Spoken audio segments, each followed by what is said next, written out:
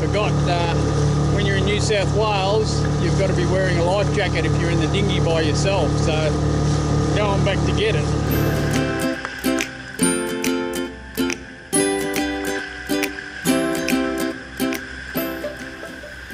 Well, we don't wear skimpy bikinis.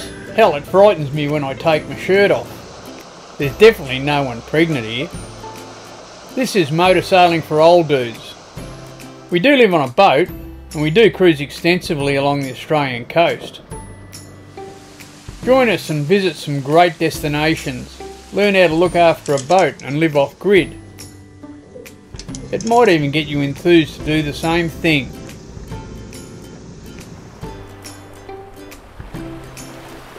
Hey, stay out there till you can't.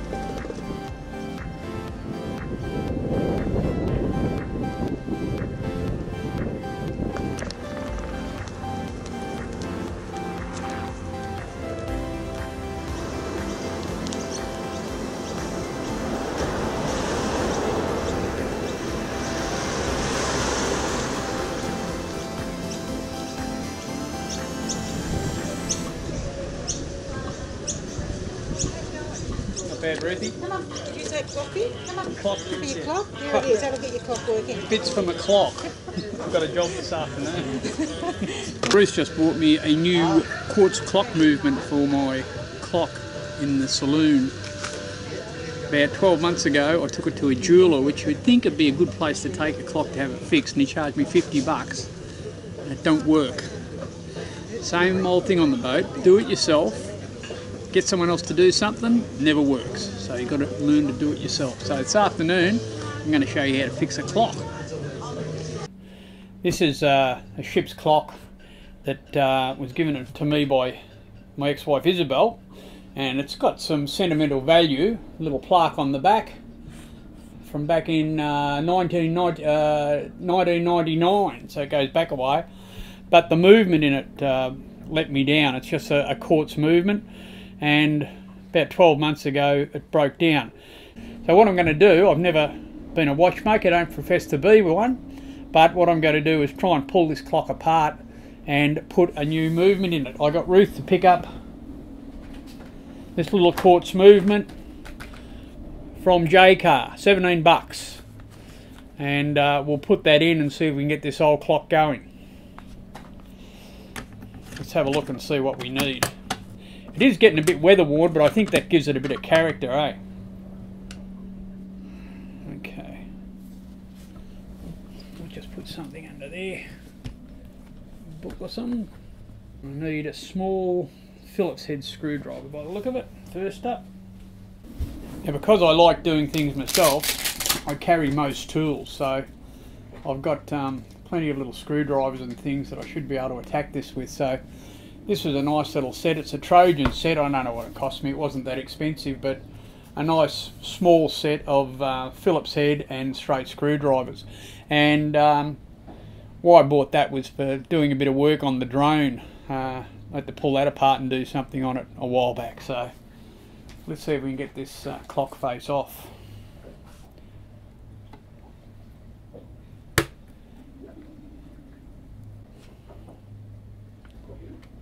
I guess we've got to take the clock face off, but we'll see. Something I've never been scared of is pulling things apart. I think if you can get over the fear of pulling things, some things I won't pull apart, like get inside a radio or something like that. I'm no good with electronics, but mechanical things, I think if you pull them apart and watch how you do it, you can usually get them back together again. So I don't think this clock's going to be too much of a drama. Famous last words. We'll see, eh? Very fine screws.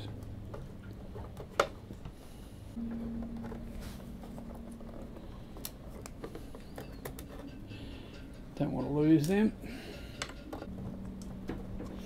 Now, does that come out? Will lose those screws if I put them up there?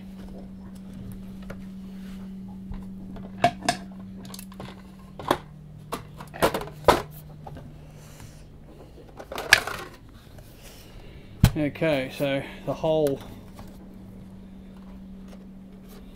the whole clock face has come out. Keep that clean. I think the case we can put that to one side. And old mate, he's done a great job. He's where one of the screws goes in here. Somehow he's managed to uh, break that bit of timber away. That's great. That's why the screw's not going in. So we'll probably even repair that while we've uh, we've got it apart.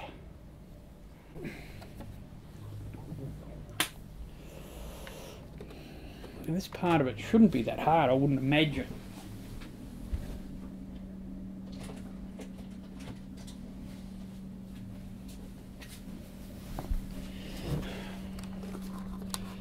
little pair of pointy nose pliers.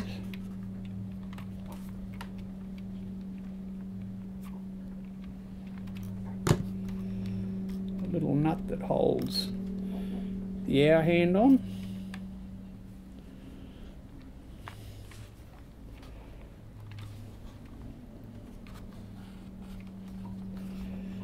Sure what hand holds the uh, minute hand or the hour hand. Sorry, the minute hand I've got off.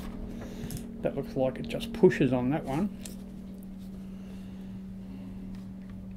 And it never had a, a sweep hand on it, so I could never work if it, it would never work out if it was working or not. Now, how easy is this to get it off? All I'm going to do is unscrew the little nut. And there you go. Ooh, yeah, so not sure what he's done there. He's got all sorts of washers in behind it to pack it back, I guess. That must be to keep it off the glass at the front. Alright, let's open here Be careful, it's got these other little instruments on it, which aren't that accurate actually, but anyway, we'll have a look at them. Just take your thing apart here. Not many instructions, tells you what battery it uses, so that's about it. And what I'm going to do, he's packed the back of this out to get that bezel down close. I don't know if you're going to have to really do that because I think there's plenty of room under the glass. I'll just have a look.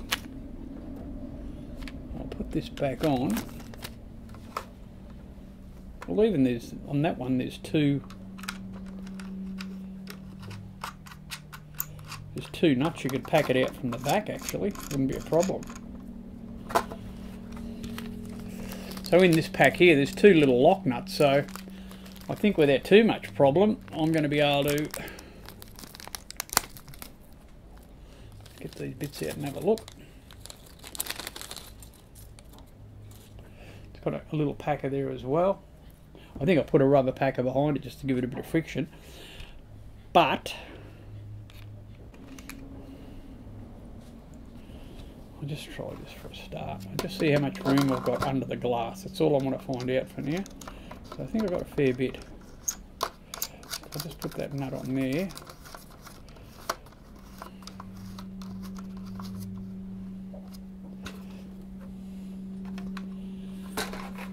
And then if I get my housing back up,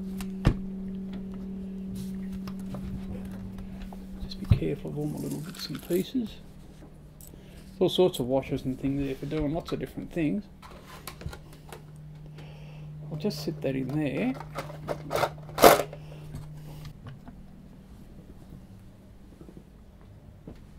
I reckon there's a quarter of an inch to that um, top of that thing, so we might take it in a little bit just in case the hands do rub on the glass as they're going around. You wouldn't want that because that would affect it.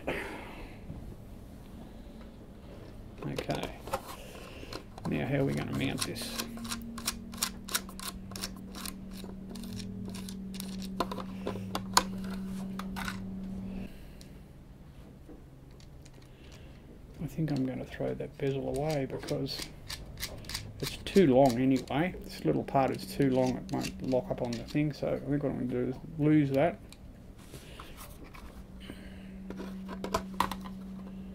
I'll put that through there. I'll have to just centre it up as best I can.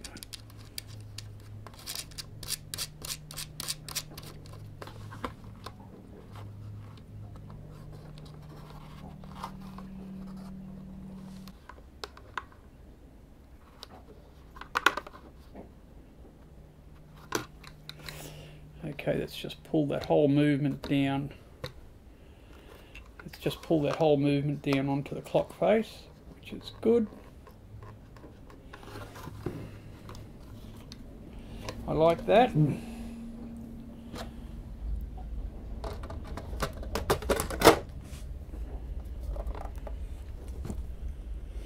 That looks pretty damn good.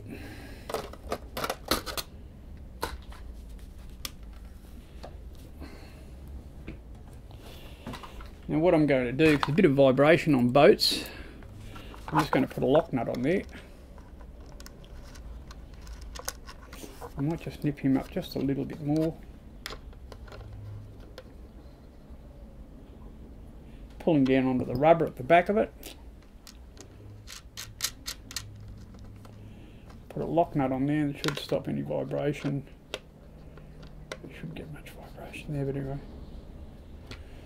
Okay, so we've got the little uh, quartz in there. Now I've got to pick out which um, hands I need. And I guess either those ones or some plain ones. Or I could even put on the ones that came off. But I think these ones are going to look alright. So let's try with these. I think this one just presses on by the look of it.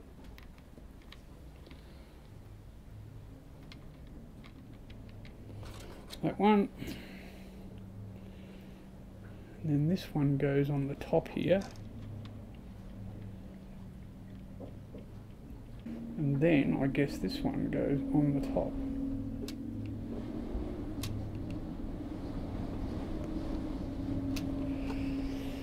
So before we put it back together, let's just slot a battery in and see if it works.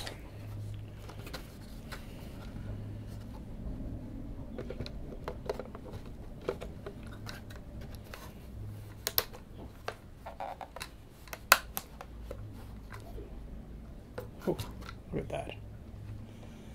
It's up and running. Beautiful. Okay, now we've done that. What about a little bit of a repair to this?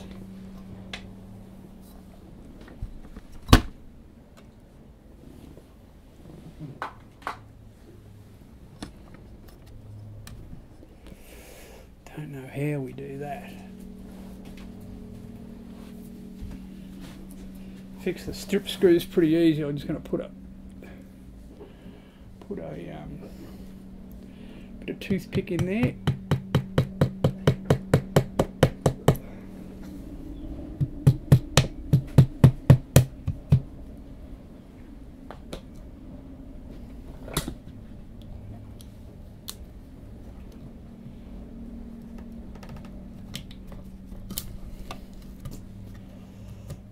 Okay, that'll fix that hole up. The others I think are alright.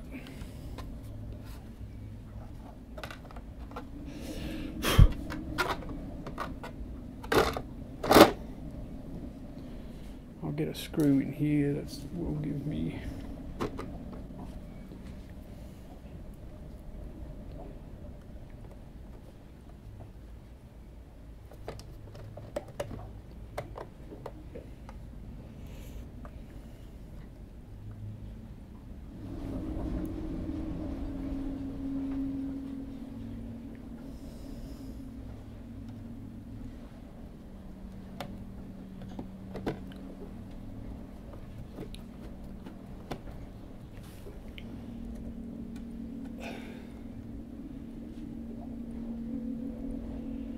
One's into the toothpick, so it should be going alright. It's gone in tight, not stripped anymore. Got to do is drill, I'll drill one more hole about there, I think, and that'll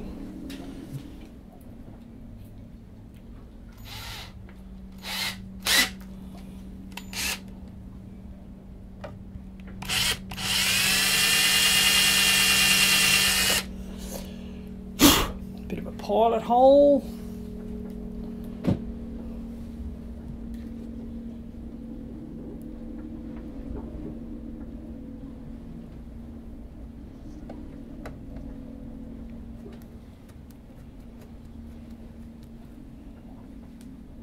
Beautiful. Okay, it's all fixed in.